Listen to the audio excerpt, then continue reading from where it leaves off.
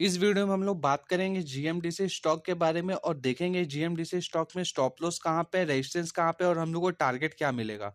Stock में देखेंगे तो एक अच्छा खासा ऊपर की तरफ़ मोमेंटम होना चालू हुआ था, जो कि एक सौ के ऊपर का लेवल था।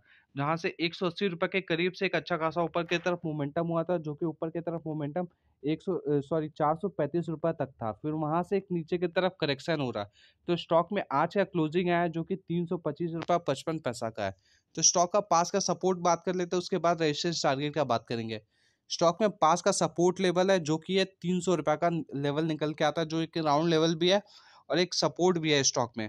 तो अगर स्टॉक को तीन सौ रुपये के नीचे क्लोजिंग नहीं करना चाहिए, अगर क्लोजिंग हो जाता है तो स्टॉक में फिर से एक डाउन ट्रेंड चालू हो जाएगा।